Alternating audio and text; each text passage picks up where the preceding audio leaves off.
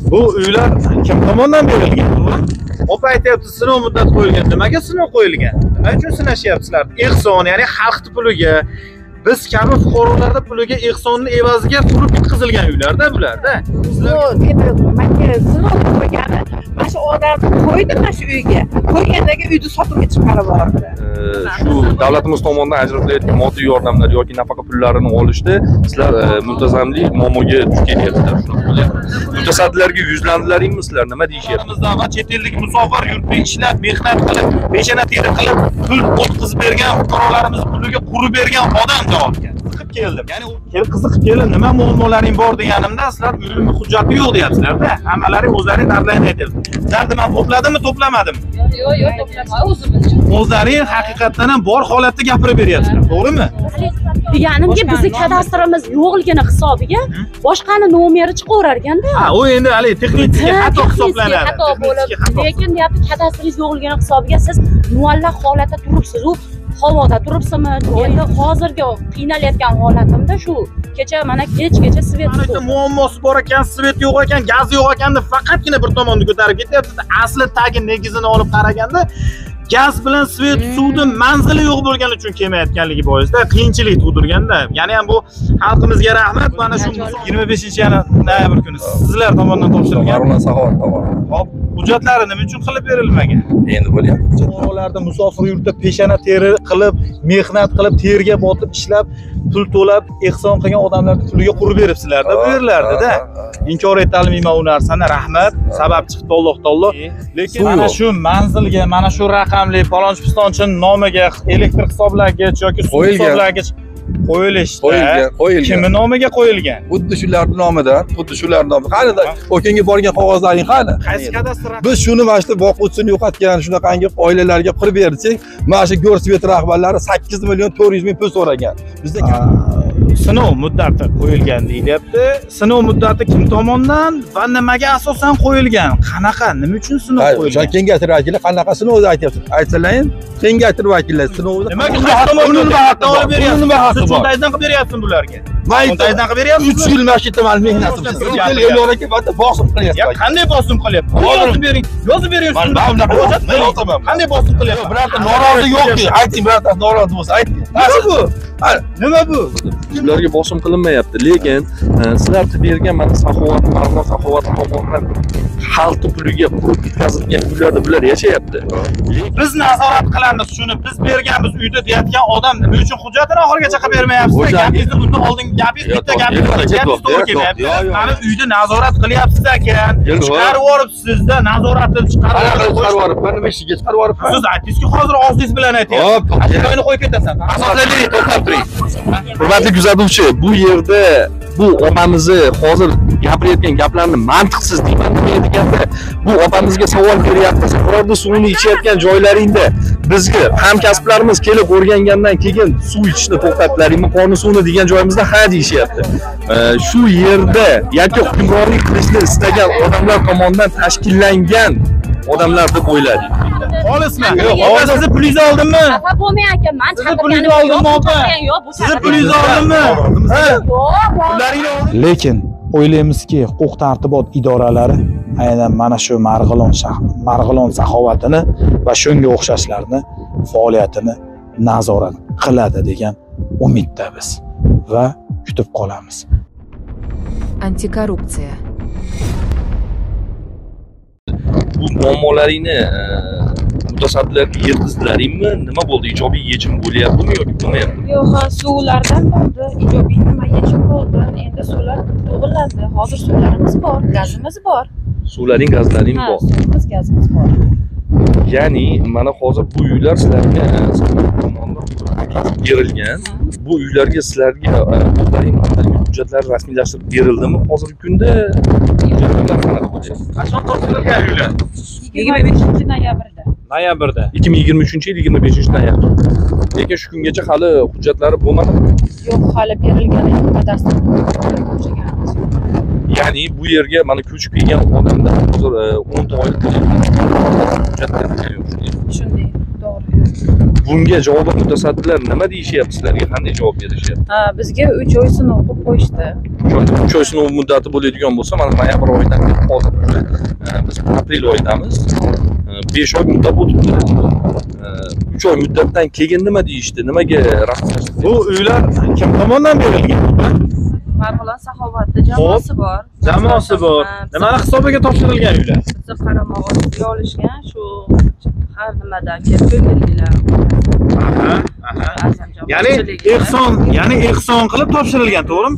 Opa aytyapti sinov muddati qo'yilgan. Nimaga sinov qo'yilgan? Nima uchun sinashyapsizlar? Ehson ya'ni xalqni puliga biz kabi fuqarolarni puliga ehsonni evaziga qurib bitkazilgan uylarda bularda. Sizlarga nima uchun sinov qo'yyapti? Kim qo'yyapti sinovni?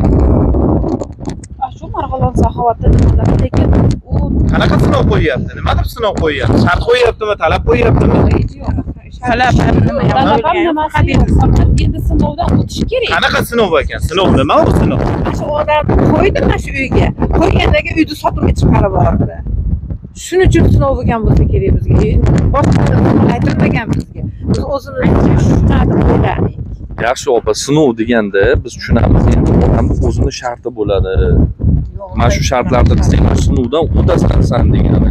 Lekin sinov deb nimani sizlarga vaj qilib qo'yyapti mutasaddilar mayli sizlarga kim gapirdi bu narsani sinov deb gapirgan yo'q masalan shu marg'ilon saxovatda kim aynan ma'lumot saxovatida opa shuni gapirib bering akalar mana keyin nargiz muhom akalar shunaqa deyildi. Endi sinov bo'linar ekan dedi. Uch oy deyishdi. Uch oydan keyin mana shunaqalar. Endi uch oy qani bo'lsinchi hamma sinovda turiladi dedi. Shu lekin sinov bo'lgan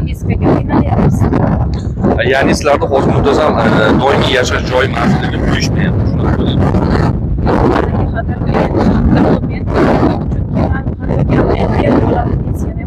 bo'lyapti chunki nimam yo'q propiskam yo'q nafaqasini ham ololmayman ya'ni sizlarga hozir sun'iy ravishda to'siqlar paydo bo'lyapti.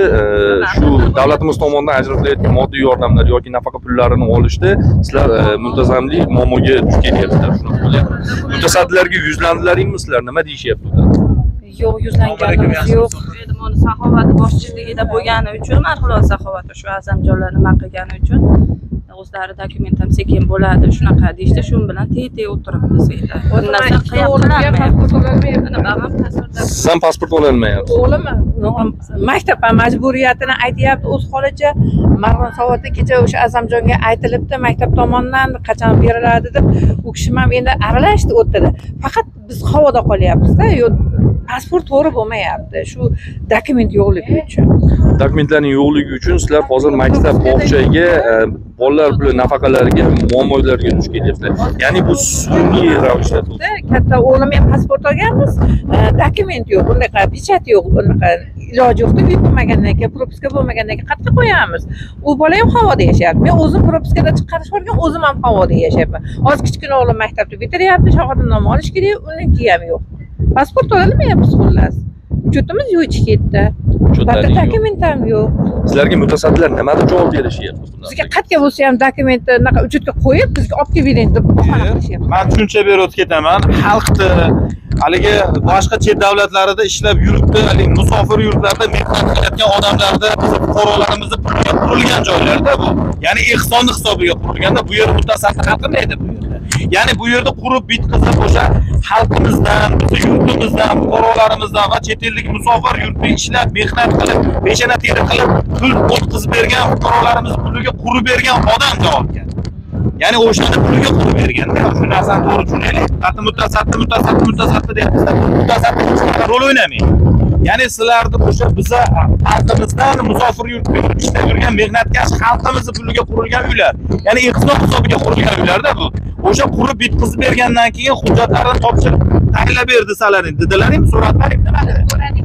Bo'lib qoladi deyishdi qachon bo'lar ekan. qachon? Yaqin orasi bor. Yaqin orasi yaqin orada yaxshi bir savol beraman sizlarga. Yana bu yerlarda qiziqtiryapti man yana bitta savol qiziqtiryapti bir ayolni deyapsizlar boshqa bir erkak bilan shog'uli haydab yubordi deyapsizlarda ya'ni bu e, sizlar o'zlaring mantiqani o'ylab ko'ringlar. Fuqarolarni fuqarolarni ular cho'ntagidan emas. Fuqarolarni va o'sha e, musofir yurtda yurgan bizni hamyurtlarimizni haqqiga qurib bitqizilgan uyni evaziga bitta fuqaroga topshirsa ha, ya'ni qiynalgan fuqaroga topshirsa nima ish qilishdan qat'iy nazar? U uyni topshirildi uniki ehsonga topshirildida uni haydab yuborish haydab chiqarib yuborish to'g'ri deb hisoblaysizlarmi sizlar aytyapti haydab yubordi deyapsizlar haydab chiqarib yuborishi to'g'rimi ehson hisobiga qurib berilgan? Noto'g'ri to'g'rimi? Ya'ni ehson. U bir kishi cho'ntagidan qilib bermayapti. Mani man yakka hukmronlikni qilib cho'ntagimdan uyni qurib bitkazib bersam man javobgarman. Ya'ni sizlarga siz- har bitta holatlaring manga hisobot berishlaring kerak. Mana shunda ham man konstitutsiyani buzib qo'yaman. O'zbekiston respublikasi konstitutsiyasi har bir qonun erkindir. Degan narsani buzib qo'yaman. Yakka hukmronlikni qo'yadigan bo'lsamda ya'ni man hozir ham xalqdan pul ehson qilib rahmat. Alloh Alloh taolo oxiratda hamma javob berish kerak. U hali u harakatlari oxiratga g'ish qo'ydi degan narsa. Lekin ehsonga qilingandan keyin eskilarimiz gapi bo'ldi chap qo'ling bilan qilganing o'ng qo'ling ko'rmasin. Chap ko'zing bilan qilgan o'ng ko'zing ko'rmasin deyishganda ya'ni qilib topshirib qo'y uni gapirib bu yerda sinov qo'yib mana e, sinov qo'yildi. O'qimaysan bu qilmaysan chiqib ketasan degan holatlari to'g'ri deb hisoblaysizlarmi nima deb o'ylaysiz to'g'ri emasku. Endi Qaranglar. bitta savol berib o'tib ketdi opalar. Hammalaring shu yerda turibsizlarda mana shu yerda. Rahmat borlaringga shukur. Sizlarni man chaqirdimmi to'pladimmi bu yerga? To'pladimmi? Yo'q o'zimiz eshitdik. Man eshitdim eshitdim. Haqiqatdan ham shu yerda hujjatlarini qilib bermayotgan ekan. Ya'ni tarmoqlarda keskin muhokamalarga sabab bo'lyapti. Birinchi uy ikkinchi uy uchinchi uy sveti yo'q gazi yo'q unisi yo'q bunisi yo'q. Biz qiziqyapmiz. Nima nima sababdan shu yerda doim muammo bo'laverar ekan deb qiziqib keldim. Kelib qiziqib keldim. Nima muammolaring bor deganimda sizlar uyimni hujjati yo'q deyapsizlarda. Hammalaring o'zlaring dardlaringni aytyapsiz. Sizlarni man to'pladimmi to'plamadimmi? Yo'q yo'q to'plama. O'zimiz o'zlaring haqiqatdan ham bor holatda gapirib beryapsizlar. To'g'rimi? Biz o'zi pastga odam kelsa chiqamiz. Nimaga keldi nima sababdan keldi? Endi biz ham hali o'zimizga yarasha endi uyimiz bo'ldi joyimiz bo'ldi deyapmizu o'zi aslini olganda mana kecha svetdan manga nima kelyapti? Sms kelyapti. Telefon qilib mana shu nomerga pul tushirishim kerak desam sizni nomingizda bas deyapti. U kimni nomidadir chiqdi qarang. Endi men aytdimki yo'q mani telefonimga ham сообщение kelyapti desam yo'q opa palonchini nomida turibdi deyapti и mani nomimda emasmi desam yo'q boshqa kadastr dedi. Endi mani kadastrim yo'qligini hisobiga boshqa odam nomida chiqyapti endi bu narsalar. Keyin man aytdimki "E, mana shu nomerga desam yo'q opa buni telefon orqali tushirsangiz sizni nomingizga tushaveradi deyapti. Lekin dokumentini ko'taraman desangiz sizni dokumentingiz yo'q deyaptida. Endi o'sha holatlar ya'ni o'sha yashash Ha. manzilingizda boshqa hujjat turibdi. Yo'q boshqa hujjat emas. Hali deganimki bizni kadastrimiz yo'qligini hisobiga boshqani nomeri chiqaverar ekanda ha u endi haligi texnический xato hisoblanadi. xato bo'lib lekin deyapti kadastringiz yo'qligini hisobiga siz muallaq holatda turibsiz. U havoda turibsizmi joyingizda turibsizmi? U sizni yo'qda. Xo'p, telefon ha. orqali tushirtirdim Xo'p, mana mana qaranglarda, sizlarda bitta narsada davlat aybdor aybdorligini qo'yish masalasida qo'yilyapti-da. Bu yerda qaranglarda, svet bilan, suv bilan, gaz bilan bog'liq masalalarda svet tushmagani, gaz kelmaganligi, qiyinchiligi ham asosiy maqsadi shu kadastr hujjati yo'qligi. Yo'q. Ya'ni uy raqam berilmagan. Ya'ni mana bu elektr hisoblagich, qo'yilayotganda opalar, elektr shuni tushuntirmaganda kim bo'lsa ham-da shuni kelib. Elektr hisoblagich palonchi manzildagi, palonchi ko'chada, palonchi pistonchini nomiga berildi deb qo'yiladi-da. Ya'ni kadastr hujjatlarining bo'lmaganligi bois sizlarda suv bilan, gaz bilan, svet bilan muammo kelib chiqyapti-da. Ya'ni o'sha xalqni puliga qurib bitkazib bergan odam oxiriga yetkazib berish kerak emasmidi? Shunaqa bo'lishiga bilmayman mana bu manam to'g'risincha dokument tushunmayman o'zi aslini olganda endi hozirgi qiynalayotgan holatimda shu kecha mana kechgacha svetsiz o'tirdim man Svetsiz o'tirganingizni sababini tushuntirib berdimmi? Ya'ni uyingiz nomingizda bo'lmaganligi uchun manzili yo'q bo'lganligi uchun, hujjatlaringiz bo'lmaganligi uchun Ha, o'sha holat bo'lyapti deyodi keyin telefon orqali tushirtirdim omma tushdiyu lekin dokumentalniy kompyuterda chiqmas ekan endi bilmayman mana xudo endi sizlar yetkazib bilmayman endi nima sababdan kelib qoldilar u bizga ham nima emas mana endi balkim o'sha qiziqqanlari uchundir balkim endi biz aytyapmanku aytyap- biz tarmoqlarda kuzatdikda mana shu joy ko'plab muhokamalarga sabab bo'lyapti. Ya'ni sveti uzilyapti sveti yo'q suvi yo'q gazi yo'q. Nima sababdan yo'q ekan? Nima sababdan kelmayapti ekan? Kelib tarmoq aynan tarmoq e, faollari kelyaptida mana bu yerda muammosi bor ekan svet yo'q ekan gaz yo'q ekan deb faqatgina bir tomonni ko'tarib ketyaptida. Asli tagi negizini olib qaraganda gaz bilan svet Hmm. suvni manzili yo'q bo'lgani uchun kelmayotganligi boisda qiyinchilik tug'dirganda. Yana ham bu xalqimizga rahmat. Mana shu musofir yurtda yurayotganlarimizga rahmatda. Mana shularni qo'llab quvvatlab turib mana shu ehsonga shu uylarni qilib beribdi. Avvalambor rahmat shularga. Lekin mana shu yerda uyni xalqni puliga fuqarolarni puliga ehsonni evaziga qilib bergandan so'ng hukmronlik qilishi to'g'rimi nima deb hisoblaysizlar endi unisini man ham unaqa to'g'risi qilmaysan bunaqa qilmaysan unaqa qilmaysan bunaqa qilmaysan hukmronlik qilishi to'g'rimi? O'zi aslini olganda bu uyda berildi endi. Mhm. indamay haligi bilmayman endi ortga qarab ketdi o'zlaring tirikchiliklaring deyilishi kerakmidi endi bilmayman. Yana man ham haligi aytyapmanu uchta go'dagimni boqayotgan ayolman. Man ham ja unaqa oliyman yo bo'lmasa haligi bir pul topar ayol emasman endi. e'tirozimiz yo'q. Deganimki Ehsonga qilib bergandan keyin- o'shada ehsonni qildirib bergandan keyin xalqni puliga fuqarolarni puliga ehson qildirib bergandan keyin sizlarni ustinglardan hukmronlik qilish to'g'rimi? To'g'ri deb hisoblaysizlar? yo'q yo'q to'g'ri. Va o'zi biz haligi hamma ayollar ham hamma erkaklar ham misol o'zbekiston nima bo'lyapti? Teng huquqli bo'lyapti. Hozir ayol kishi ham erkak kishi ham o'z huquqiga ega unaqa birov hukmronlik qiladigan paytda yashamayapmiz konstitutsiyamiz O'zi avvalambor aslida, buzib qo'yapmiz to'g'rimi? aslini olganda shunaqa jamiyatda yashayapmiz haligi nima deydi? Hamma o'z huquqiga ega. Misol kim nima qil- qiladigan bo'lsa ham endi avvalambor qonunni buzmagan holatda bir bema'ni ish qilmagan holatda yashashligimiz kerak to'g'ri? Misol bitta ham yashayapmiz hozir mana uchta go'dagimizni qarab birida ikkita birida to'rtta hamma o'zini xohlagancha hayotini kechiryaptiyu.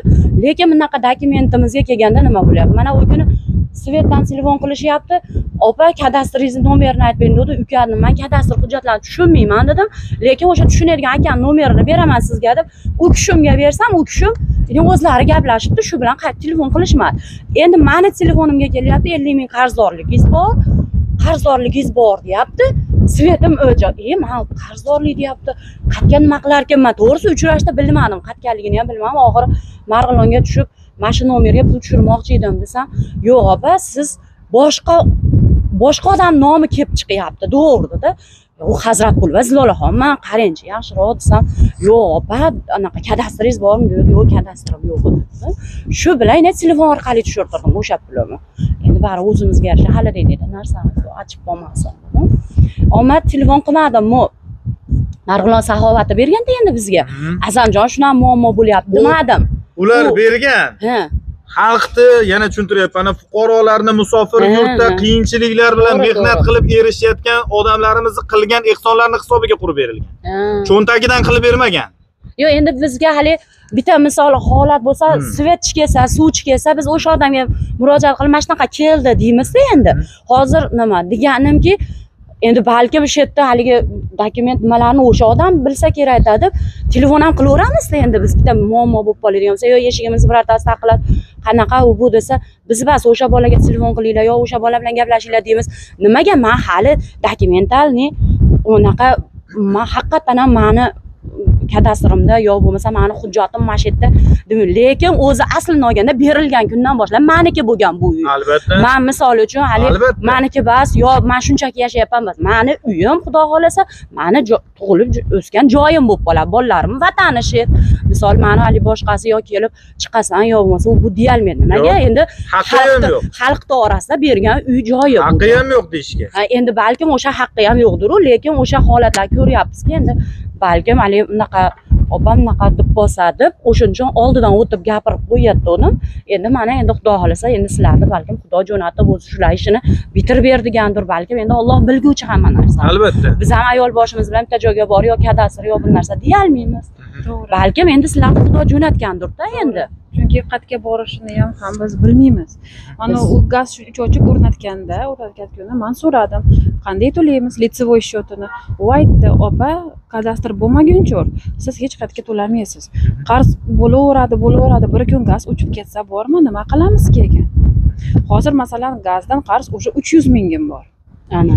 Qayerga boradi keyin? Aytyapman hali bir oy bo'lgan yo uchog'im qo'yilganiga svetim ellik ming bo'lgan ekan endi ellik mingda oltmish ming qilib to'lab keldim. Endi misol o'n mingda o'chib qolsin ikki mingda o'chib qolsin man qo'yib kelay o'sha o'n ming o'n besh ming hozir manga ham ro'zani kunida to'g'risi ellik ming oltmish ming ayniqsa yo'l kira qilib boraman o'n besh ming ketadi misol. O'sha pulim yonimdaku agar nima bo'ladigan bo'lsa. Endi mayli shug'ullanib ko'ringlar o'sha bizga endi shular sababchi bo'lib misol uy berildi endi balkim u odamlarga ham endi sizlarda anaqalaring bordir balkim foydalaring tegib o'sha ishlarimiz bitib qolar mana svetimizga suvimizga oxiri ikki oy deganda o'sha qorni suvini ichdik u qo'shnilardan olib chiqib ichdik. Oxiri bitta bloger bola ko'tarib chiqdi bu narsani suvimiz tushdi. Endi sizlarni ham xudo jo'natgandir. Man misol uchun hamma ishni yaxshilik orqasini ko'radigan bo'lsak alloh o'zi mehribon. Mana o'n yil deganda uyli bo'ldik joyli bo'ldik bu ham ollohni bergan mehribonchiligida. Bu misol bir joylarga yig'lab chiqsangiz ham arizangiz ham hattoki gapingiz ham o'tmas edida endi. Misol oson narsa emas endi besh xonali uy наоборот bizga mazza sharoit bo'ldi. Endi xudoga shukur man u o'n yil tugul yigirma yilda ham qilolmasdim bu uy joyda deymanda. Endi rahmat misol hissa qo'shgan qancha qancha million odamlar bor. O'sha insonlarga ham rahmat. Mana duoyimizni qilib iltijoyimizni qilib o'tiribmiz o'shalar haqqiga ham.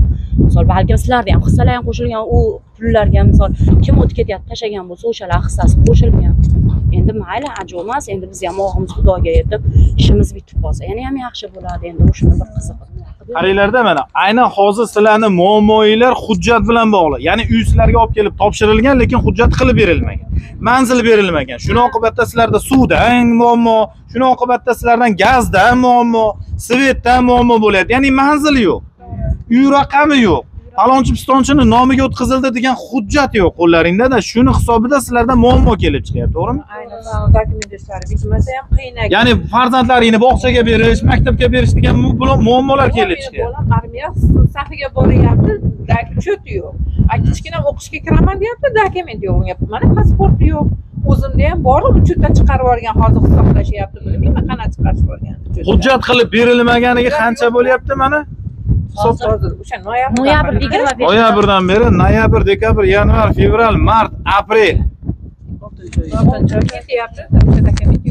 Bo'lsa shu bolalarni uchutga qo'yib o'qishga kirgizishga ham ishga kirgizishga ham mana xotirjam armiyaga boradigan yaxshi bo'lib ona nima bo'ladi? U ham ilaqa u ham bemorligi bor o'zi borolmayapti o'zi. Men endi o'zidan chiqib armiyaga boraman dedi dokument chata pasportda hujjatda anaqasi yo'qda hozir uchut yo'q. Aynan mana shu suhbat jarayonimizni o'zlaringni ixtiyorlaring bilan beryapsizlar a biz endi siz kelibsiz mana ko'chada sizni ovozingiz biz mashina kelsa ya kim keldi nimaga keldi nimaga turibsan deymiz. Endi biz ham bu yashash manzilimiz. Aytyapmanu hali kim kelsa nimaga keldik endi qiziqishimiz kerak. Biz ham yolg'iz ayollarmiz. Misol bir kun biz bilmabmiz. Endi mana shu gaplarni orasida haligi aytamanku misol ko'chani nomi yo'qmi? Balkim o'shani shapurab ketayotgan odamlar. Suvimiz tushdi svetimiz o'rnatildi ikki kundan keyin to'rt kun gazsiz o'tirdik. Man o'ylabmanki endi ha deb gaz svetga murojaat qilavermaylik ha deb anavi bloger bolalarga murojaat qilavermaylik. Endi o'zimiz ham aravamizni o'zimiz tortaylik ha bo'pti sabr qilaylikchi endi hamma qatori o'chgandir dedim qarang.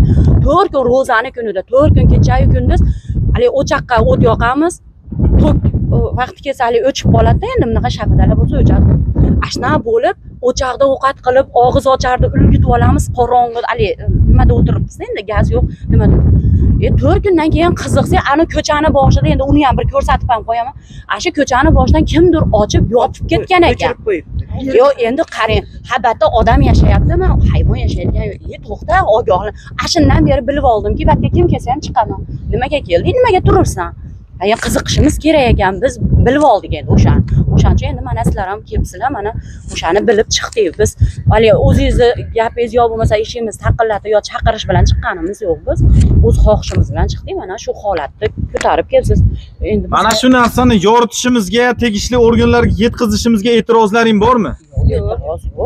Biz oydinlik kiritamiz. Faqat o'sha ikkinchi tomondan ham eshitamiz. Nima sababdan hujjatini qilib bermaganligini. Ya'ni xalqni fuqarolarning to'lab bergan ehsonini evaziga uyni qurib bitkazib bergan shaxs nima sababdan hujjatini topshirmayotganligini qilib bermayotganligi bo'yicha oydinlik kiritamiz.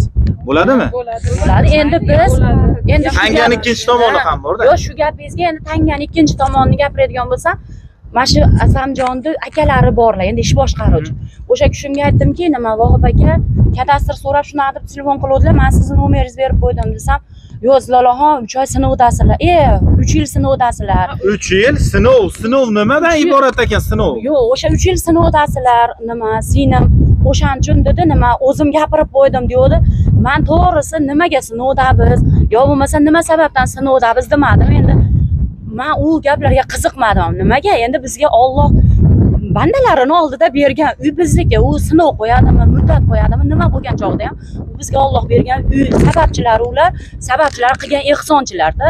Endi bilmayman uni nima sinov degani qanaqa ma'nodaligini bilmayman. Endi degani mana singillarimga opalarimga aytganmanku endi balkim bular haligi chaqirgan holatda kelgandirsizlar degan gap bo'lib qolib nimani nimasi manga og'darilishini ham xohlamayman. Misol mana shu videolarimni o'sha qo'yayotganingizda ham yo o'sha bizga misol ehson qilayotgan inson ehson qilgan insonlar sababchi bo'lganlarni oldida qo'ysangiz ham o'zimizni misol uchun haligi e, siz bilan biz bog'liqlik joyimiz yo'qligi sizlar bizni biz sizlarni tanimagan holatda kelganliklaring nima bo'lsin. Lekin o'sha asamjonni og'zidan eshitmaganman bu sinov degan muddatni ish boshqaruvchisini og'zidan eshitganman. Endi bitta man emas bular ham eshitgandir misol man o'zim eshitganman. Endi bular ham eshitgan bo'lsa eshitganligi haqida o'zlari gapirsin. Tushunarli. Rahmat opalar sizlarga aka antikorrupsion ommaviy axborot vositasini maxsus muxbiriman familiyam toshboyev ismim elyorbek Hop, biz yaxshi aka tarmoqlarda fuqarolar bilan bog'liq muammolar ya'ni gaz bilan svet bilan suv bilan bog'liq muammolari keskin muhokamalarga sabab bo'layotganlik holati bo'yicha biz o'rganishga keldik. Yaxshi nima sababdan gazi kelmaydi nima sababdan sveti kelmaydi nima sababdan suvi kelmaydi o'sha holatni o'rganishimiz kerak. Asli holat o'rganish uchun kelganimizda holat boshqacha ekanda bu yerda. Shuni man ish boshqaruvchi sifatida ya'ni qarangda man bitta? Bitta savol qo'yamanda aka. Man fuqaroman masalan chet elda bizni hamyurtlarimiz hamyurtlarimiz uzoq yurtlarda ishlab mehnat qilib peshona teri qilib va o'zbekiston respublikasi fuqarolari ham mehnat qilib ehson qilishgan to'g'rimi? Ana shu ehsonlarni evaziga qurilganmi shu uylar? Xalq puliga qurilgan. Xalq puliga qurilgan. bu yerda yakka hukmronlik qilish mumkinmi? Mumkin emasmi? Ehsonni evaziga qurilgan qachon qurib topshirilgan bu yerlar hozir bir minut opajon yigirma beshinchi yana noyabr kuni sizlar tomonidan topshirilgan Haruna Saxovat tomonidan. hop hujjatlari nima uchun qilib berilmagan Endi bo'lyapti hujjatlar. olti oy davomida Hop. olti oy bo'lyapti hozir hop. Nima sababdan topshirilmagan? Nima muammo bo'lyapti? Qaysi tashkilotda to'xtalish bo'lyapti bular hujjat? Muammolar endi mana xudo xohlasa muammo nimadan bo'lyapti? Nimadan bo'lyapti muammo? nimadan bo'lyapti? Hech nimadan muammo. Bor muammolarni to'xtang, mana gapiringizni eshitdi, mayli. savolim oxirigacha berib olay. Maylimi? Savolim oxirigacha berib olay. Sizlarni masalan rahmat bolalaringga shukur allohim sabab chiqibdida shu ehsonni yig'ib shularga o'sha xalqni fuqarolarni musofir yurtda peshana teri qilib mehnat qilib terga botib ishlab pul to'lab ehson qilgan odamlarni puliga qurib beribsizlarda bu yerlardada inkor etolmayman u narsani? Rahmat. Sabab chiqdi alloh taolo. Lekin svet bilan suv bilan gaz bilan bog'liq muammolarida muammolarida. Yechim topdi u. ya'ni yechim topdi. Yechim topmaganligini bois protsessualniy qonunni hurmat qilamizda. Avvalambor alloh taoloni hurmat qilamiz. Ikkinchi o'rinda qonunni hurmat qilamizda qonuniy normativ hujjatlari bo'lmaganligi uchun ya'ni manzil raqam berilmaganligi uchun mana shu raqam mana shu xonadon mana bu palonchi pistonchi fuqaroga palonchi raqam bilan berilmaganligi uchun suv kelmagan Hop. Gaz kelmagan svet kelmagan tarmoqlarda To'xtang, chiqib to'xtang. Endi sizni gapingiz bo'lishi kerak. qonun borda Yo'q, biz eshitdik, qonuniy. Mana ham O'zbekiston fuqarosi o'sha qonunga biz eshitdik. Mana u gaz bo'ladi. Mhm, Unini otsangiz uchuvchiga bo'ladi. mhm, Noto'g'rimi? Svet bor, svetni bor, uchuvchiga bor. mhm. Ha, uchuvchiga bor. Noto'g'rimi? Bormi?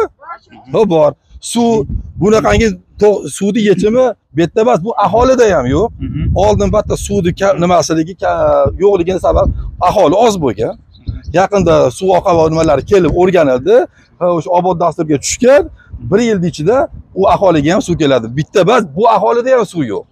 yo'q man aytyapmanki Suv mana shu manzilga mana shu raqamli palonchi pistonchini nomiga elektr hisoblagich yoki suv hisoblagich qo'yilishda Qo'yilgan, qo'yilgan. kimni nomiga qo'yilgan Xuddi shularni nomidan, xuddi shularni nomidan. Qani o'kanga borgan qog'ozlaring qani? qaysi kadastr raqamiga asoslanib Yo'q, kadastr, endi esak esak bitta bitta kelyapti. aynan shu kadastr. muammosi shuni arkasidan kelib chiqqanmi kadastr hujjati bo'lmaganligi uchun svet bilan suv gaz kelishiga muammo bo'lganmi Yo'q, yo'q, suv. Yana sizga aytyapman, yana sizga aytyapman. Gazdan biz kimga muammo qilibmizki, biz to'xtab turing. Suvni biz uni u tomonga yetib kelamiz Elyor aka. Qarab turing. Biz bunaqa bo'ladigan bo'lsa, biz nima sizni o'z gapingizni man shuni bo'ldim. Qana tomondan kelyapsiz, qayerga olib ketyapsiz. qayerga olib ketyapman to'xtang gapingizni oxirigacha Qonuniy, gapirib oling men gapirib olay. Men gapirib olay. biz bu yerda jalba qilingan bo'lsa go'rsvetga mana shu xo'p siz aytmoqchi biz aytmoqchi bu xalqimizni puliga bo'lingan mana shu stolbalar ham mana shu transformator kabellar hammasi xalq puliga bo'lgan ha mana endi. Biz shuni mana shu boquvchisini yo'qotgan shunaqangi oilalarga qurib bersak mana shu go'rsvet rahbarlari sakkiz million to'rt yuz ming pul so'ragan. Bizda kadastr so'rashmagan birinchidanda sakkiz million bu aytyapmiz buni boq- boq- boquvchisi yo'q bo'lsa. elektrosvet tomonidan marg'ilon marg'ilon elektr somo- tomonidan sakkiz million to'rt yuz ming bu yozma ravishda murojaat bo'lgan qonuniy bo'lgan. Bu hech qanaqa kadastr so'ralmagan bu narsa. Bu bitta yechim bo'lgan. Muammo boshqa yoqda ketyapti aka bu suv bu suv suvga tortadigan bo'lsa bu bular uchun bas bag'li aholilarga ham tanqis ha. mana endi mana oldingi hokimimiz oldingi hokimimiz bu yerda berganlar issiqdan ha? Endi biz bilmaymiz. Bo'shab ketdilar. O'zlari bilishadi endi. Mana bu hokim mana prokuror sektorlar kelib bir ochilishda ishtirok etishdi ha mana bersalar yangi bo'lib ketishdi. Biz o'zimiz o'zimiz balki qurib olganimiz yo'q. O'shalarni ruxsat bilan biz ham video hamma nimasi turibdi. Mana endi biz ham hozir ikki yuzga yaqin oilani aka qarab kelyapmiz. Mana kimnidir bundan tashqari ham uyi qurilyapti kimdir hindistonga jo'natilyapti o'sha xalqni puliga misol mana bularni hozir birov tinchini buzgani yo'q boshqa qilgani yo'q rahbariyat ko'rsa elyor aka. Ho'p muammo nimada hozir biz muammo hujjatlarida. Olti oy davomida endi hokimiyatini hokimiyat qilib beradi kadastr qilib beradi. Buni biz qilib bermaymizku. Biz to'g'rimi aka qonuniy bo'lsa sinov qo'yilganlik holati bo'yicha savol bo'ladi. Qayerga olib ketayotganligingizni man juda yaxshi bilib turibman degan gapingizni izohlab bera olmadingiz yo yo yo hop izohlab berib keting. Aka siz baqa kelishingizdan maqsadingizni ayting. Maqsad aynan sizga tushuntirib o'tyapman. Tarmoqlarda. Yo'q bas yo'q o'sha joyga siz tushuntirolmayapsiz savol beringiz javob beraymi? Yo savolingiz boshqalar savolingiz to'g'ri bo'lyapti. Bo'ldi to'xtangda vahob akamiz ismingiz Ha, Vahob aka. man erkinmanda. Hop. Man erkinman. Hamma o'zbekiston fuqarosi erkin. Ha mana o'lmang bular ham erkin. Siz ham erkin. Oddiy misol bu yerga kelishimdan maqsadim tarmoqlarda siz savol berdingiz javobini oxirigacha eshitmayapsizda. Tarmoqlarda gaz bermayapti svet beryapti gaz emas svetni suv bilan dastlab o'sha u paytida o'sha suv ta'minoti mchj tomonidan suv o'tkazib bermaganlik holatidan boshlab bilamanda. Jannat uylarimi? Jannat bog'chalari. Jannat bog'chalarida jannat bog'chalari deb nom olib turib turib tarqatib o'zimiz ham shu suvga yordam qilganmizda kerak bo'lsa mana shu yerda suvni tushirishiga zo'r mutasaddi rahbarlar bilan talash tortishganmiz paytidada o'sha paytdan keyin o teskari ham bo'lib ketganmiz suv ta'minoti mchj bilan. Mana shu holat yuzasidan keyin kelib chiqadi bilanda oddiy misol bu narsa endi ana shu narsa kelmasligi mana shu tarmoqlarda mana kuni kecha yana tarmoqlarda svet bilan bog'liq muammo bo'layotganligini ko'rib nima sababdan shunaqa muammo shu yerda aynan shu yerda ko'payyaptiki nima sababdan bizni e, marg'ilonda farg'ona viloyati marg'ilon shahridan dastlab shunaqa murojaat yana chiqib tarmoqlarda o'zbekistonimiz farg'onamiz sharmanda bo'lyaptiki endi biz tagini bilgani keldik. Ya'ni juda yaxshi. holat kelib chiqyaptiyu bir aytadiku jinoyat sodir bo'lsa jinoyat sodir sodir etilgan ya'ni oqibatini o'rgangin deyishadi. Nima uchun deyishadida oddiy misol.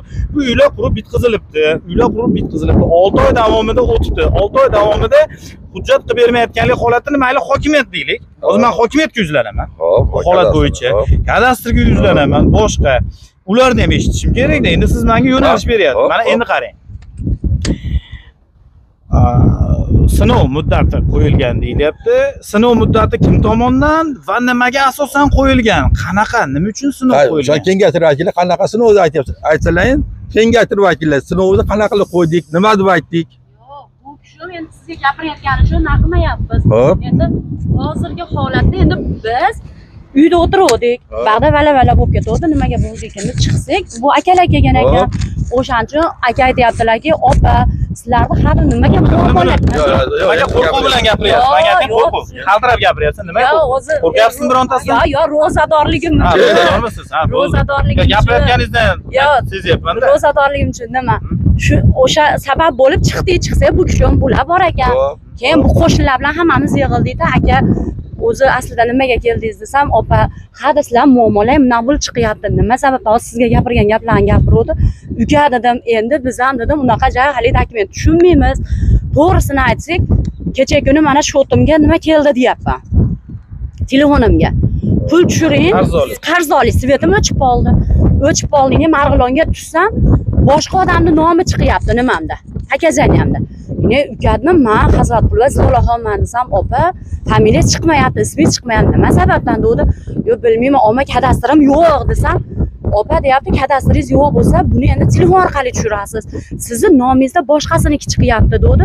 Man kelib endi telefon orqali tushirdim klik orqali tushirsangiz u chiqmas ekan. Yashdan bo'ldi.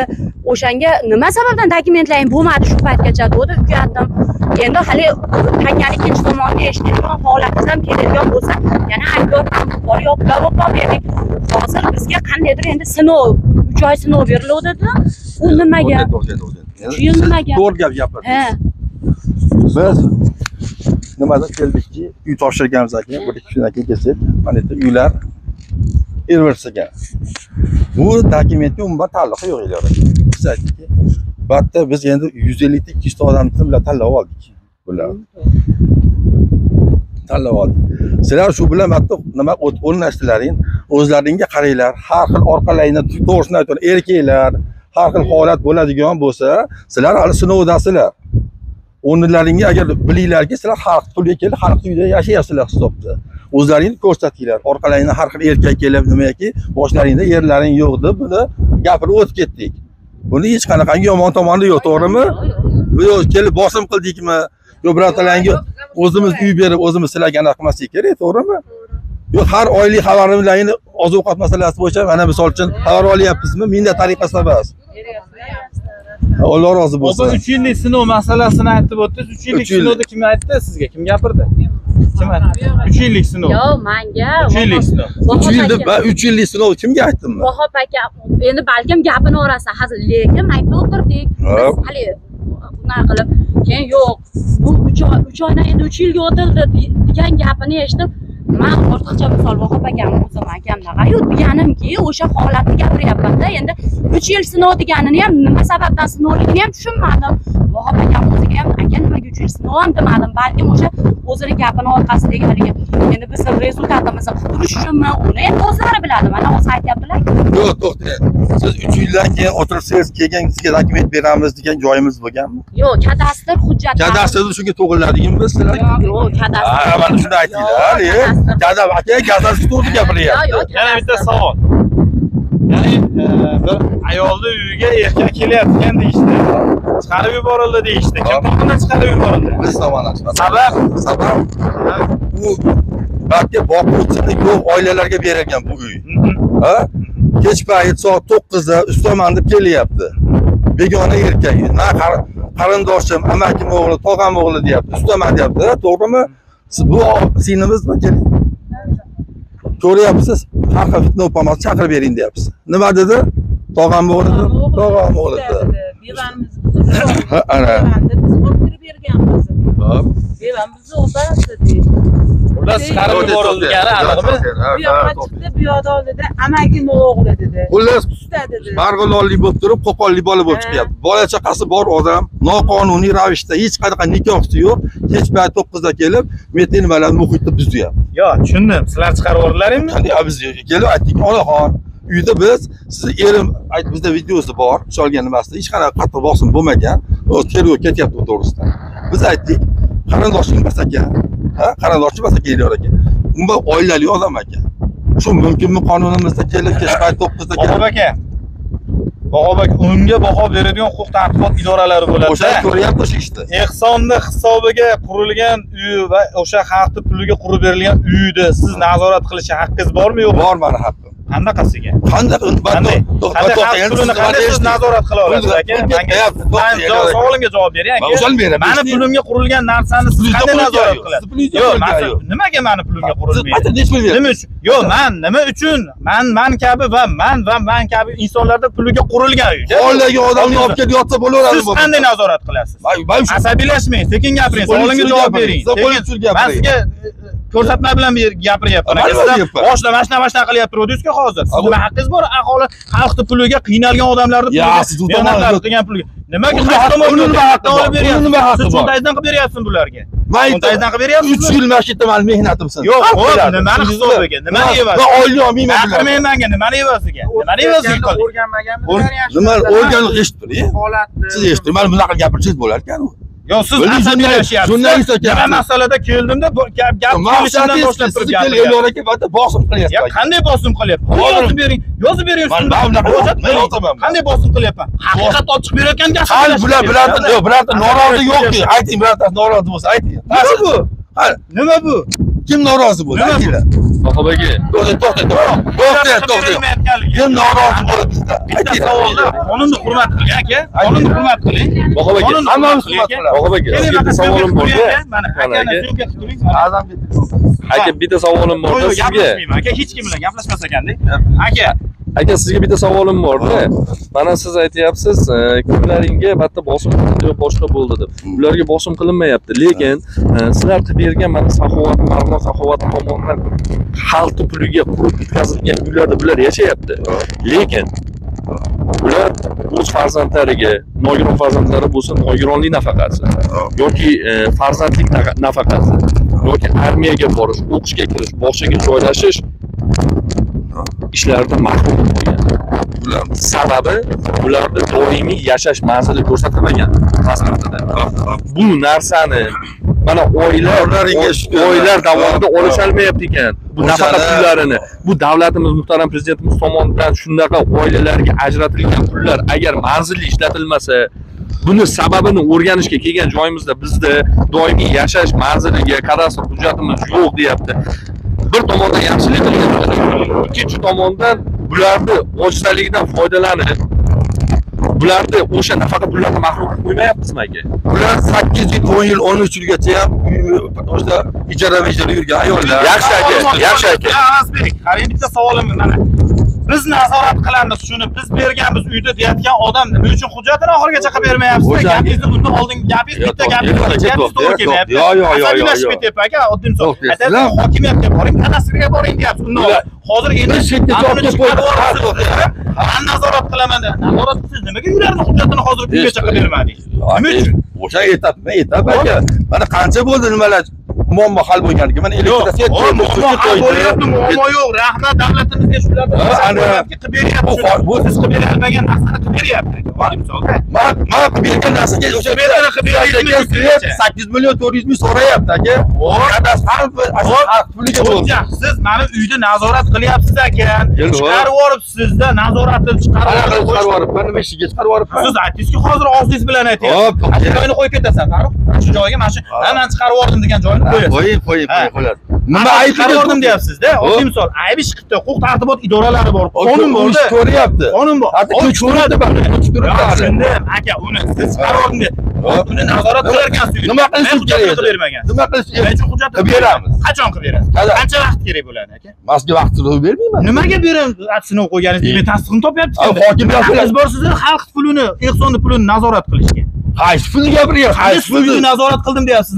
Nazorat kelajakda begona yer keldi begona nima? Javob berishim kerak Aka, to'xtab turing. Javob kerak. ehsonda bu, ehsonni hisobiga lovullatmaysiz Mana hurmatli kuzatuvchilar ko'rib turganingizdek ehson, ehsonda. O'zbekiston Respublikasidagi har bir mehnatsevar xalqimiz musofir yurtda me- mehnatsevar xalqimiz yurib peshana teri hisobiga qurilgan uylarni nazorat qilishar ekan. begona erkaklar kelib begona erkaklar kelsa idoralari bor. Huquq-tartibot idoralari bor. Sizda haqqingiz yo'q. Borib ko'ring. Ehsonda xalqimi, mani mehnatsevar xalqimi hozir mandan nima talab qilyapti mandan nima talab qilyapti Siz nimaga Maqsad uni yo'q. chiqarib yuborasiz? Nimaga buni qilib bermaysiz? Nima haqqingiz bor aka?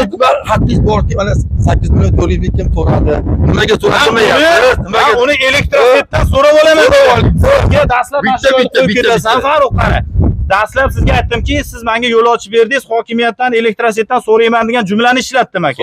Videoda turibdi. Men uni so'rab olaman. Ana shu holatda ularni vakolatga Sizning nima kiradi haqqingiz bor ehsonni nazorat qilishga? qaysi ehsonmidi Ehson- ehson nima begona erkak bo'lyapti berganmiz. begona erkak Siz boya siz hali politsiyamisiz? Ichki ishlar xodimimisiz? Prokuratura nima haqqingiz bor bo'lmasa? nima haqqim yo'q Nima haqqingiz bor nazorat qilishga? aka? Menga tushun- tushuntirib bering, mani qonunda O'zbekiston Respublikasi konstitutsiya qonunida shunaqa deyilgan. Nazorat qilishga bering. Qonunni hurmat bir qiling. odam bir odam bir odamga asabim uzr Uzr, meniki ham zulm qolyapti. tilim bir odamga yettita mahalla xo'jayini Dizimi to'xtab turing. Dizimi to'xtang, to'xtang, isbog'idan kelyapti. Begona erkak kelyapti. Yarim kechasi. U o'g'rimi, terrorist, qatdan bilaman ben. Kim seni urmasam, so'kmasam, uni ko'rilyapti, ichki ishlar uni ko'ryapti. shu yerda yashaysizmi yerda yashayman. Hujjat qilib berilmagan ekan ya'ni o'sha e, tarmoqlarda kuzatyapmizda biz ijtimoiy tarmoq faollarimiz ya'ni man jurnalistman opajon rasman antikorrupsion ommaviy axborot vositasini maxsus muxbirman. Tarmoqlarda opajon e, svet kelmayapti suv bilan bog'liq muammolar bilan nima sababdan shu svet berilmayapti ekan shu e, qiynalganlarga? Yo tushundim nima sababdan berilmagan ekan dastlab nima sababdan suv berilmagan ekan deb kelgan joyimda hujjat qilib berilmaganlik holatini ko'ryapmanda. Ya'ni olti oy davomida. kelishyaptiku mana bugun mana hozir ham olti oy davomida. beraman siz qayerda yashaysiz? Man narigi mahallada yashayman sani mahalla yashaylarmi opa hozir mana dokumentim kelyapti ko'rsataman sizni cho'ntagingizdami siz o'zingiz yig'yapsizmi yig'yash yig'ishyapti kim yig'yapti ba'zan joylar yig'ishyapti mana vahob aka tayinlab ketdilar menga hamma mana hammasi gapirsin Mhm. hamma o'zini danlilarini yozgan ko'p mana beryapman menga nimaga shuni ertaroq gapirmadilar Ayting. Nimaga hop dokument yig'ishyapti hop yig'yapti qayerga borib topshirdilar qachon boshladilar yig'ishni qachon boshladilar yig'ishni qachon bugunda bugundanmi oldin boshladim. Uch kun uch kundan beri aytishdi endi yozib topshirdik lekin topshirib bo'lishdi ismingiz kim opa nargiza mani sizga yordam qilyapsiz fuqarolarga yo'q nima yordam qilaman man shu yerda yashayman yoshlarda yashab yordam qilyapsizmi hujjatlarni yig'ishga mana hamma beryapti hop olti oy davomida nima buni mana qarang bitta gap aytaymi bitta gap aytaymi shunchalik uy to'qqiz yil uysiz yashadik endi olti oy bir yil biz Alloh nima rozi qilolmaymizmi kutolmaymizmi bo'lsin. Anjoni bo'lsin. opa savolimga javob bering kim davomida chaqirdi sizlarni o'zi deysan. tarmoqlar chaqirdi sizga opajon sizga nima opajon bitta savol bitta savol ko'chada qolganimizda to'qqiz yil ko'chada yurdik birov kelib eshigimiz taqillatdimi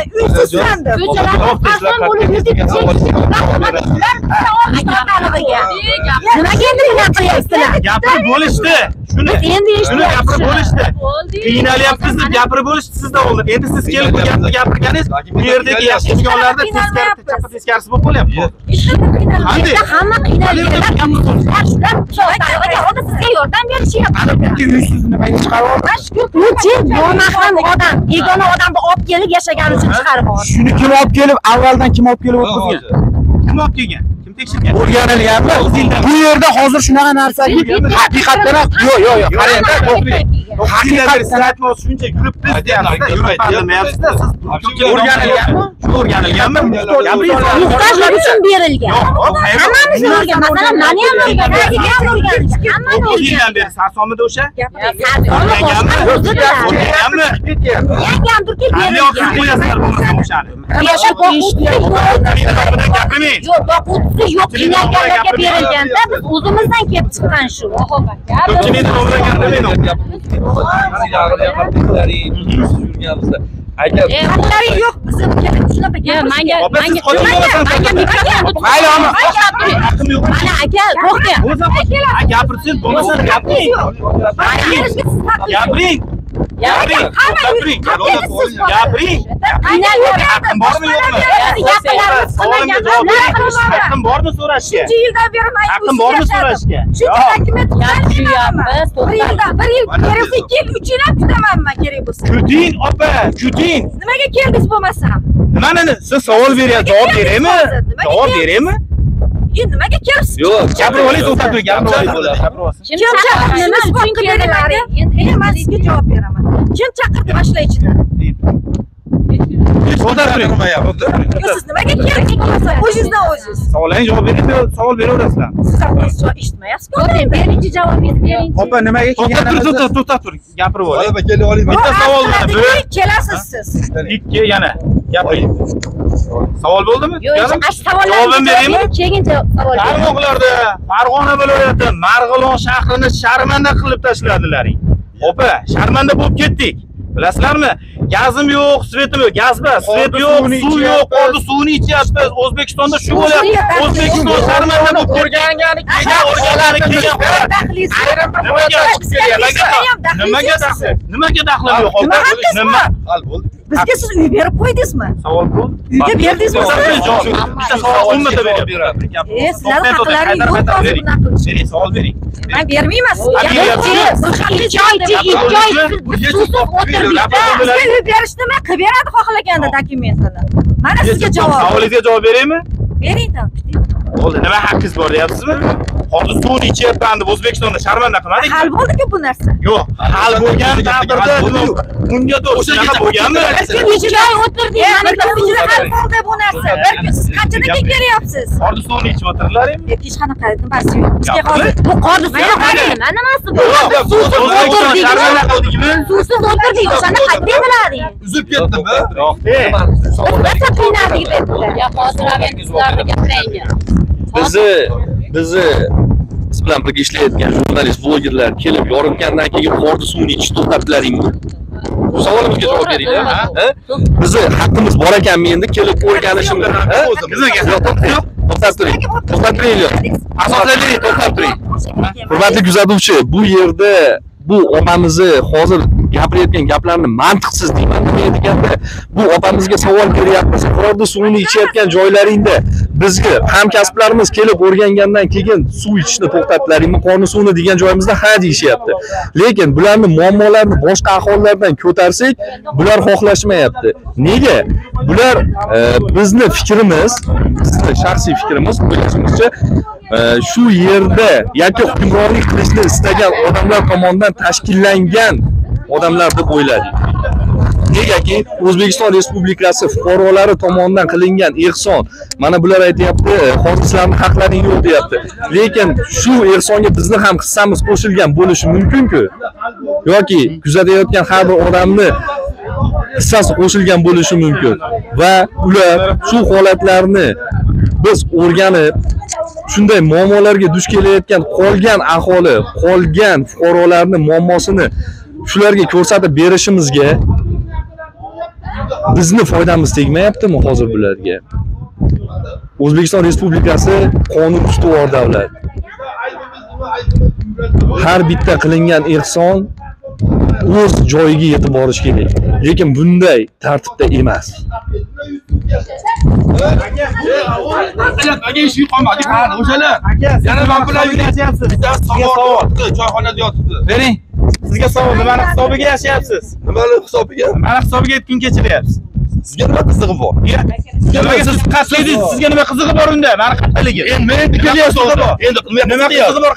qiziqyapsiz sizni nima qizig'i bor? Sizda? gapiring. nima qiziqasan man Xohlasizmi? siz ekanimi man sizga kesatib deganmisiz deganmisiz qiynalasiz qiynalib qolasiz. Nima qilasiz? Qiynalib qolasiz deysiz qanaqa qilib qiynalaman? Yo'q qanaqa qilib siz qiynalaman? ko'rasiz bilaman qanaqa qilib qiynalishimni bilaman qanaqa qilib qiynalishimni mana qarab yo'q savol ochiq ketdi Chiqayotgan ayol. nimadan norozi bas. To'g'ri. To'xtab turing hozir endi bular bunaqa gapirsa mani gapirgani bularni gapirgani hozir minus bo'lib boqib ham xafa bo'lyapti. Sizlar xolis kim tomonidan Xolis! ana o'shani deyapti Yo'q, mana xat eding deyapti bu nimani hisobiga kun kechiradi. Yo'q manamku hozir manga qarayapti. Manga nima deyapti? Bunga nima unda man? O'sha man xolis bo'lmaganda bu savolga- mana mana Ha? gapiryapti xolismi? Man yo'q hozir sizni pulingizni oldimmi xafa bo'lmang aka man Sizni chaqirganim pulingizni yo'q, oldimmi opa chaqirgan yo'q bu sizni pulingizni oldimmi yo'q pullaringni oldimmi aytyapman o'shani bizda nima ayb siz kelib asabiylashayapsiz sizga savol bersam savolni mana shu yerda boshladingiz mana shu yerda asabiylashishni boshlayapsiz ya man sizga kelgandan beri tushuntiryapman opa kelib sen kimsan sen xat deding bilan boshlayapti yo'q endi bitta narsa elektrosvetda qor suvini ichyapmiz deb muammolaringni aytganlaringda xafa bo'lmagan endi kadastrda qiynalyapmiz deganda nimaga xafa bo'ladi muammo aytilyapti qor suvini ichyapmiz o'zbekiston sha'nini yerga urib noto'g'ri deganim yo'q qiynalayotgan narsalarni aytishyapti to'xtab tur nimaga xafa bo'lyapti Muhtaram to'xta to'xta eshitdinglar nima uchun qiynadilar ishlab turgan suv bormidi bor edi bor Bormidi? tayyor bor Kim uzib ketdi? hech kimdan beso'roq o'zbekiston respublikasi prezidenti shavkat miromonovich hozirgi kunda o'zbekiston respublikasi sha'nida qadr qimmatini yuksak darajalarga ko'tarib yurtimizni maqtab oddiy misol xalqaro hamjamiyatlarda tikilar podshomizda umrlari uzoq bo'lsin shu odamnida podshomiz shu yurtimizda xalqaro hamjamiyatlar bilan tiklab xalqaro tashkilotlarda o'tkazib xalqaro xalqaro yurtlar bilan nimamizni munosabatlarimizni tiklashga harakat qilib yurtimiz zo'r deb ko'rsatib turgan qorni suvini ichyapmiz deb o'zbekistonda sharmanda qilganimizni qanday tushunishimiz mumkin? Elyor aka. Bo'ldi-da, ayta uzib ketdi. Uzib ketdi. Elektr uzib Beruxsat ketdi. Hop, hop, ketdi shuni qanday tushunish mumkin hozir qayerda edilaring deyishlaringni qani sani nima haqqing bor aka. yo'q muammo yo'q hal bo'ldi deyapman aka. hujjati qachon bo'ladi bular Xudo xolasa bo'ladi. qachon Mana shu manga shu kerak mani fuqarolarim aka siz ham fuqarosiz man ham fuqaro bular ham mani fuqarolarim man uchun bularni hujjati bo'lishi kerak. Bilyapsiz mani talabim shu. Biz buni buni qachon bo'lishini qayerda to'xtalish? Ayting.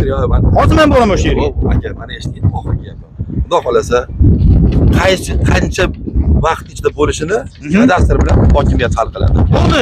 Siz hujjatlarni normativ Yig'yapmiz, normativ hujjatlar hozirga nima hujjat talab qilyapti aka? Kimga? Siz ham kadastr olib bordingizmi mana aka mana kadastr yig'yapmiz Hop. aka yig'yapmiz aka hozir yig'aylik hozir yig'aylik Sizlarga ketdik birgalikda olib boraylik kadastrga Sizlarga- ketdik. Mashina mana mana u qizlar bular kelibdi. Man ham kelsam gapirayotgan ekanlar aka nima muammo bu desa yo'q muammoimiz yo'q deyishdi bular ham to'g'rimi? Men ham aytdimki mana unaqalarimiz boshdan chiqib ketgan Savolni to'g'ri qo'ydingmi? qilganmiz. O'sha blogger bolalar kelib mana ha yo'q. Svet bilan shu bilan bog'liq muammolaring nima sababdan kelib chiqqan shu aka ketardi shu buni endi ko'rsating man bundan so'raganlar yo'q dokumenti bular kadastr so'rashdi. Bular aytgan negizi kadastringiz yo'qligi uchun to'g'ri gap. To'g'rimi? shu mani gapni odamga? eshittiringiz zo'rada. Mani gapni eshittiring man sizlarga kelib kserokopiya bolalaringni nima metrikasidan ha? Hattoki mana o'quv markazi ochyapmiz ha? Muhtaram prezidentga rahmat bepul qiynalgan bolalarga o'qish nimasini yaratib beryapmiz remont ketyapti. Yaqin kunda arab ingliz rus tilidan bolalaring o'qisin. Bu dokumentlarni tayyorlanglar deb ketdikmi alloh rozi bo'lsin. Bu akaga kelib shu dokument bilan shug'ullanishyapti. Borini aytsalaring man bilganim yo'q edi to'g'risi. Aytyapti berdim siz eshitmagan qolgan eshitganku aytishim edim o'shani ha shuni ko'tarib Qo'lim tegmay hozir gap tingdalosi hujjatiga qancha vaqt kerak bo'ladi? Hozir hujjat yig'ib olib borib topshirsak bo'ladimi? Kelinglar maqsad hujjat qilib berish Ho'p, bo'ling. Buyur. Davay, kel o'shanda davay kelishing Hozir nima hujjat nima nima hujjat qilish kerak qachon mana uch kun oldin opa to'xtanglar savolda yo to'xtanglarda mana uch kun bo'ldi deyapsizlarda siz bildingiz hujjat yig'ayotgan siz bildingizmi hujjat bildingizmi qani olib chiqinglar nima hujjat so'radi beringlar hozir oldinda qani man bilan birga borsinchi vatanparvar fuqaromiz bor ekan kadastrga topshirgan kuzatib turaylik opa man bilan birga borasiz shular uchun jon kuydiryapsiz ekan kadastrda birga hujjat qilamiz ana bor kelishamizmi onam qabristoniga ketyapti o'zi bo'ldi boraman. Siz yo gapingizda man sizga boraman bo'ldi hujjat yig'yapman. Bo'ldi ketdik. Bo'ldi tochka. boramiz. siz mana shu oxiriga yetkazib berasiz. Mana shu hujjatlarni yig'yapsiz. Buni azamiga telefon qilib yo'llab kelsan o'sha. Aka ani savolim ochiq qolib ketdida. Rahmat azam azam aka.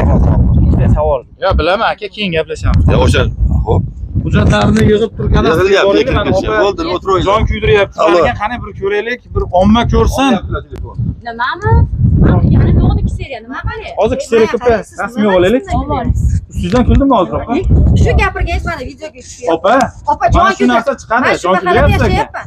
Shu mahallada yashab shu tuzini yeyapman man hop har oy xarajatlar kuydirmayapsizmi? qatishadi uy berdi menga jon kuydirmayapsizmi? Jon kuydiryapman bo'ldi jon kuydiryapsiz ekan deyapman gap kesatmaysiz opa nima dedim hozir?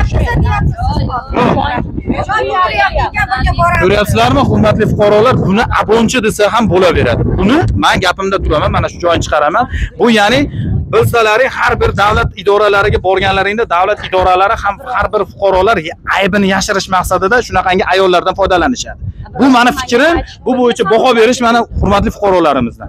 To'g'ri gapni ham noto'g'ri tomonga noto'g'ri talqinga buryapti yana ko'rib turganlaringizdek ko'rib turganlaringiz mana hujjat yig'ilyapti qayerda yuruvdik va hokazo deyotgan odam jon kuydiryapti birga boraylikchi ko'raylikchi ommaga havola qilyapti desa gapdan ushlab turib urush chiqarishga olib boryapti urush chiqarishga harakat qilyapti. Bu bo'yicha baho berish o'zlaringdan yana odam bas ekan. Yana odam bas keyin ekan. yana hurmatli kuzatuvchilar bir narsaga sizlar e'tibor qilishlaringni so'raymiz. Ya'ni mana shunaqa ehsonlik holatlar chiqsa haqiqatdan ham muhtojmi? Muhtoj emasmi? Ro'mollarni kiyib yig'layotganlar haqiqatdan ham muhtojmi? Muhtoj emasmi? Holatni mana hozir ko'ryapsizlar. Haqiqatdan ham muhtoj insonlarga berishlaringni so'rab qolamiz. o'rganib keyin berishlaringni so'rab qolamiz man masalan misol yo'q opa qaranglarda eshitdinglarda opa man undan oldin ham savol berdimda. Man buni tarmoqlarda yurtimiz qoldi suvni fuqarolarimiz sharmanda bo'lyapmiz ekan deb o'rganganda keldimda oddiy misolda. Man sizlar pullaringni oldimmi? Yo manga telefon qilib chaqirdilaringmi ha? Yo'qmi? Holatni asli holatni ya'ni talab bo'ladi. Jinoyat sodir etilsa jinoyatni sababini o'rgangan. shuning uchun tagini bilishim kerakda man nima sababdan sizlar qorni suvini ichyapsizlar ekan? Nima sababdan o'zbekiston respublikasi prezidenti shavkat miromonovich o'zbekiston yurtimizni nufuzini dunyolarga tanitaman deb boshqa davlat prezidentlari bilan xalqaro hamjamiyatda tikilayotgan bir mahalda o'zbekistonda fuqarolari qorni suvini ichyapti ekan deb o'rganib tagini negizini. Haligi aytadiku hali aka iltimos. Man shu shularga gapiryapmanda aka iltimos aka hurmat qilaylik bir birimizni jon aka iltimos. Mana shu asli mana shu holatda kelib chiqish negizi maqsadi. Ya'ni qing'irishda qilmish qirq yilda ham ochiladi bekorga aytmaydi. Bular aytyapti to'qqiz yil oldin qatatsa kerak bo'lsa qirq yildan keyin kelib otishi mumkin edi mana bu holatda. Kerak bo'lsada? bitta narsada kelib siz muammoni shunday tushuntirmaysiz shu qo'rquvni ichib shu bunaqa qildik man tarmoqlarda opa videoda turibdi man nima deganim opa to'xtab turing to'xtab gapiryapman to'xtab siz chiqib gapirdingiz opa mana shu yerda gaplaringiz turibdi shu narsa. Opa siz aytyapsizki shu- siz gapirmadingiz deyapman. to'xtab turing. Svetingiz bilan gaz svetingiz bilan suvingiz bilan bog'liq muammolarni asl tagi negizida nimada deb bir kadastr hujjat yo'q deydi kadastr hujjat bormi desam yo'q dedilar. Kadastr hujjat to'g'rimi? Ha yo'q.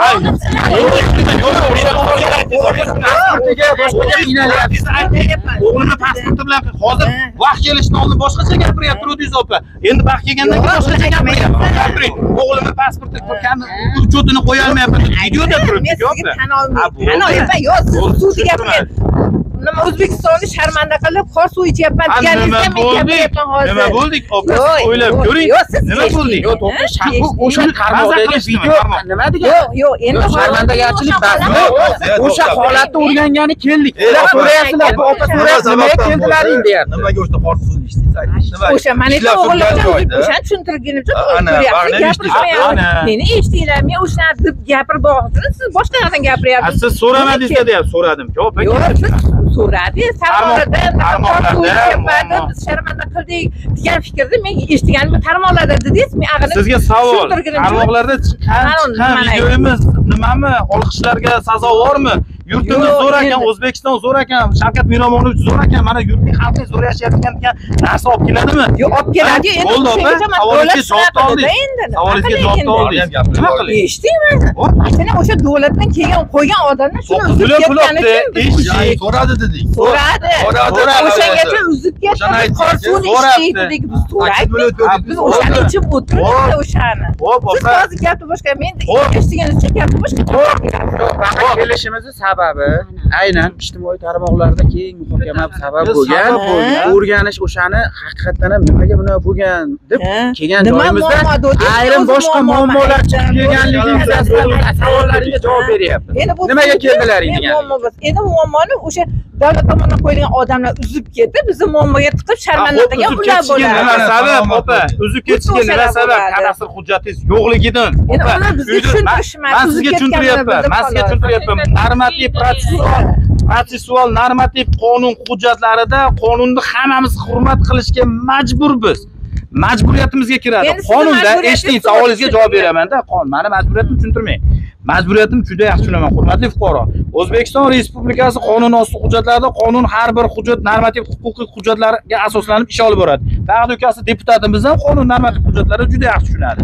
Sizga mana shu qorni suvini ichmasligingiz uchun uzoqdan olib kelib tushuntirib beraman. Qorni suvini ichmasligingiz uchun tarmoqlarga chiqib yurtimizni sharmanda qilmasligingiz uchun qorni suvini ichyapman deb bular olib kelib vaqtida elektroset ham suv ham vaqtida olib kelib elektr hisoblagich va o'sha uyni raqami bilan familiya otingizga berilishi uchun kadastr hujjatlari kerak. Ayni muddao bu yerda kadastr hujjati qilib berilmaganlikdan so'ng svetdan muammo bo'lyapti sizda suvdan muammo kelyapti. Uni oqibatida siz qorni suvini ichishga majbur bo'lyapti o'zlaring aytgandek tarmoqlarga chiqqandek yurtimizni sharmanda qilganimizdek qorni suvini ichyapmiz deb. Endi siz elektrosetga yoki boshqa joyga to'nkashingiz. Qanday tushunsa bo'ladi qarang. man sizga deyapman kadastr hujjati yo'q uy raqami yo'qda gapirasiz kadastr yo'q uyni hujjati aka buni ukangiz deputat qonunos hujjatlarni juda yaxshi biladi deputat o'zim sakkiz Uy raqami- so'radim shunga asoslab berasiz uni kadastr so'radim. Uni uni aka sakkiz million berasiz. to'rt yuz ming so'raganligini biz ustida turmaganmiz. Ha o'pdi uni sizda audiosi bormi? sakkiz million to'rt yuz ming so'raganligi yozma ravishda bo'lgan. Video bormi? Hamma bor. bormi? Qog'ozi Yo'q, sizda bizda sakkiz million to'rt so'raganligi yozma tarzda sizga berganmi? O'shani berasiz manga. Shuni qo'yamiz savol qo'yamiz. Bu Hududiy- yechim top bo'ldi. Yo'q. yo'q siz bor. ana savol so'rayapsiz umuman sakkiz million to'rt yuz ming so'raganligi nimaga uzib ketgan? Kadastrga bog'liq emas u. Kadastr svet bilan bog'liq har bitta hali svet uy bilan qurgan to'xtang to'xtang Bitta- Qanday aka? kimni nomiga tushirib beradi sizga savol? Svetdan falonchi pistonchi mana svetdan foydalanib kadastr so'radimi kelib? So'radimi? So'ramayu siz ha bo'pti. So'ramaydi kadastr bo'lmaganda kadastri yo'q kadastri yo'q sakkiz million to'rt yuz ming. Ne so'radi? Svet sakkiz foydalanyapsiz million to'rt yuz ming ne so'radi? Hop kadastri yo'q ekan uni siz aka to'xtang. Tomonni siz gapirayotganingiz gapda bo'lib qolyapti xolos-da. Gapda bo'lib qolyapti xolos. Siz menga bering o'sha qog'ozni qog'ozni bering o'sha qog'ozni ko'rsating mana so'raganligini. O'shani biz yozaylik qo'yaylik. Mana shu joyda chiqadi nima sababdan turing. blogerlarga tavsiya qilganmiz sizlar oldingi kelgan blogerlarga deputatlarga tavsiya qilib menga tavsiya qiling. Sizga bu ishim hal bu. Menga bering. Mani murojaatim yo'q. Gapiryapsiz-ku nima sababdan siz savol berasiz? Man sizga javob beraman. Yo'q man mani murojaatim savolingizga bo'ldi. javob beraman. Javob olib beraman shu Alloh rozi bo'lsa ko'rsatib bo'lmasa savolingizni bermay shu sakkiz million to'rt yuzta nima siz kelyapti? yechim topgan narsa ilmay keling ha? Yep. aka yechim topib bular o'n yildan bas uysiz kedilaring aka o'n yil ikki yildan sizlar kedilaring aka ham keling, shergacha olib kelib qo'ydingda endi Aka. kelib bunaqa gaplaring din tomondan gaplashaylik. Qaysi tomondan din tomondan gaplashaylik. gaplash qaysi tomondan kerak menga. Aka bitta savolda ehson hisobiga qurib bitkazilgan uyni nazorat qilishga haqqingiz bormi yo'qmi? Shunga savol bering. Javob bering. bosh shariat tomondan ketyaptimi hozir? Ehson. Ehsonni biz minnat qildikmi a minnat qildikmi? Yo birortasini kelib shuni biz mana ikki begona erkak kelsa eshit opa zapis qiling begona erkak kelsa birgalikda shular bilan ushlasak uni boshqa oilasi bor hech qanaqa noqonuniy zakisi bo'lmagan holat o'g'irliqcha kechmay to'qqizdan qo'shnilardan bekitib kelyapti. Ha? Begona erkak kelyapti u o'g'rimi o'g'rimi terroristmi победа yurgan odammi? Shuni aytyapmanki man nazorat qilib aka biz xalq puli sindi uch yildan beri aytib qora terga biz tushdik. San qayerdan kelyapsan? Oilang bor ekan. Aytsam mani nikohimdek xotinim ularni bizni zapisigacha borki man farg'onadan uy olib beraman. Mahriga degan joylari bor ekan. O'sha kuyov bola farg'onada uy olib bersinlar. Badga somorlarda yotgan bularga o'xshagan qiynalgan odam kelib yashasin.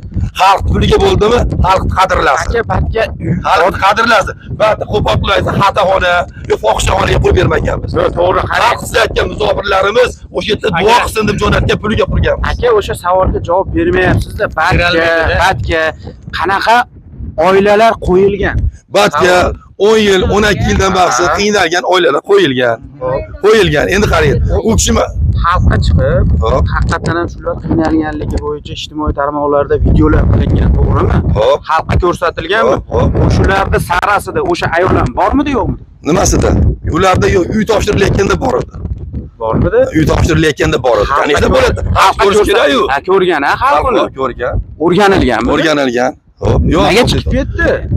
Endi inson xatodan xoli bo'lsa ekan. O'ynashdi u eri bor ekan hop eri deylik yomon o'tmay mana eri bor ekan o'shani. Ikkinchi xotin ekan. O'zi o'rganilganda uy bormidi yo'qmi kimni uyi bor? Yo'q uyi yo'q U- uyi bo'lsa uy bermaymiz-ku u bizga erim yo'q degan edi biz o'rganganimiz haqiqat eri yo'q lekin endi o'z og'zilari bilan aytyapti man o'rtog'im nikohliman yashayman deyaptilar biz bobusi yo'q oilalarga uy berganmiz aka. Tushuntirildimi bobusi man mayli yomon tomoniga o'tmay u ayol sha'nini bulg'amay hatto eri bo'lsin lekin erli odamni uyi Ha, demak endi mana hozir mana shu yerda ham misol berilgan ha. Deylik mana shu opani olib aytaylik. Berdingiz uylarni beryapti kelajakda ular ishlab bari ham chiqarib olasiz siz hozir sizni man savol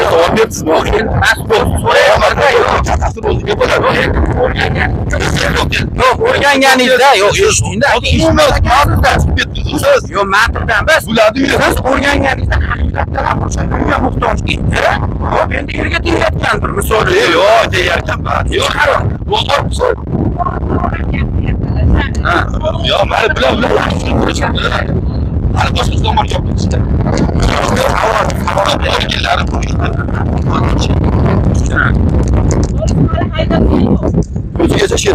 o'zi qarayapsiz sizlar anga tomon mashqani qo'yinglar boshida bizga birorta yerim yo'q ekan uni oilasi bor ustaman odam to'g'ridan hal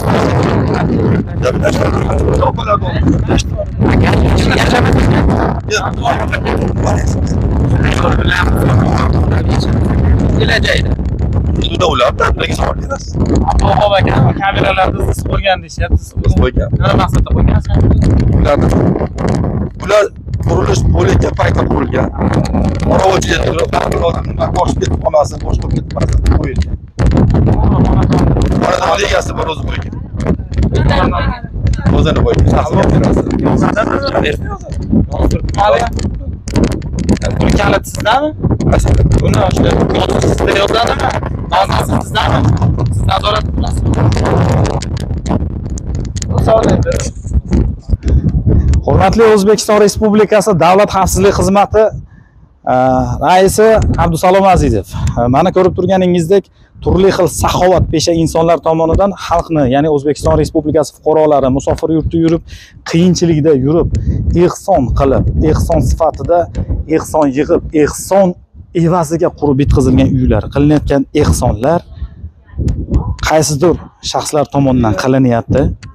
Lekin lekin aynan o'sha shaxslar tomonidan qilingan ehsonlar nazorat qilinyapti. Bu borasida o'zbekiston respublikasi davlat xavfsizlik xizmati o'zbekiston respublikasi bosh prokuraturasi farg'ona viloyati davlat xavfsizlik xizmati ayni mana shu marg'ilon saxovatining qilinayotgan ehsonlari shu kungacha qayerdan qancha mablag' kelib tushdi nimani evaziga va qayerlarga chiqdi qancha mablag' sarflandi va buni ham din tomonlama olib qaraganda hurmatli fuqarolarimiz bir narsani eslatib o'tamizda qilingan ehsonlar nazorat qilinishi kerakmi? Asli ah, aslida xalqimizni bir gapi bor. Qilingan ehson o'ng qo'ling bilan qilingan ehsonda chap qo'ling ko'rmasin deyishgan. Ya'ni qilingan ehson nazorat qilinishi qanchalik to'g'ri? Qanchalik to'g'ri? Mana marg'ilon saxovati tomonidan ehson qilinyapti ekan rahmat. Ehson yig'ilib topshirilyapti ekan rahmat. E'tirozimiz yo'q. Lekin topshirilgan ehson nazorat qilinishi hamda topshirilgan uylarning olti oylab oylab oylab hujjati qilib berilmasligi holati bo'yicha buni huquq tartibot idoralari turli xil shunga va shunga o'xshagan saxovatpesha insonlarimizning saxovat evaziga qilayotganligini nazorat qilishsa maqsadga muvofiq bo'lar edi. Bundan oldin mana aytib o'tganimdek bundan oldin tarmoqlarda o'zbekiston respublikasi fuqarolari hududiy elektr tarmoqlaridan davlat tashkilot suv suv ta'minot mjdan norozi bo'lib bizga suv bermayapti gaz bermayapti deb yurtimizni nufuziga putur yetkazuvchi harakatlar olib borishgan edi. Asli tagi negizini olib qaraganda kadastr hujjatlari qilib berilmagan. Ya'ni ehson hisobiga qurib bitkazilgan uylar shunchaki olib kirib ko'rgazma uchun olib kirib qo'yilgan deb tushunish mumkin.